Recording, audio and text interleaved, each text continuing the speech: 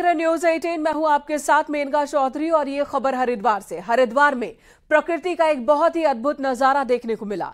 यहाँ हाईवे से आसमान में काले काले बादल छाए हुए नज़र आ रहे हैं।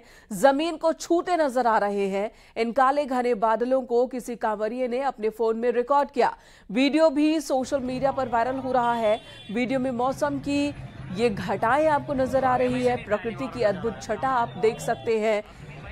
न्यूज़ 18 इस वीडियो की पुष्टि नहीं करता, लेकिन फ़िलहाल देखकर बहुत ही मनमोहक ये नज़ारा, जहाँ पर आप देखिए काले और नीले रंग के बादल किस तरह से ज़मीन को छूते हुए नज़र आ रहे हैं। हरिद्वार की ये तस्वीर बताई जा रही है, सोशल मीडिया पर ये तस्वीर वायरल हो रही है और हरिद्वार की सड़कों पर कावड़ियों के मेले को भी आप देख पा रहे हैं। हालाँकि वीडियो को देखकर लगता है कि शाम का ये वक्त है जब हर तरफ़ बादल ही बादल और बादलों का पहाड़ सा बन गया है, जो ज़मीन को छूते हुए और ऐसा लगता है कि सड़क यहाँ पर बंद हो रही है बादलों की वजह से।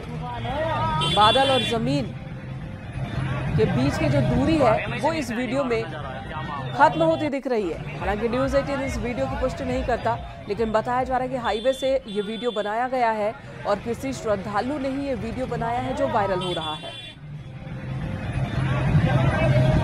से पहली बार नज़र आया हरिद्वार जिसे हरि का द्वार कहा जाता है, कहा जाता है कि यहीं से उत्तराखंड में जितने भी पवित्र स्थल हैं, उनकी शुरुआत हो जाती है, धामों की शुरुआत हो जाती है।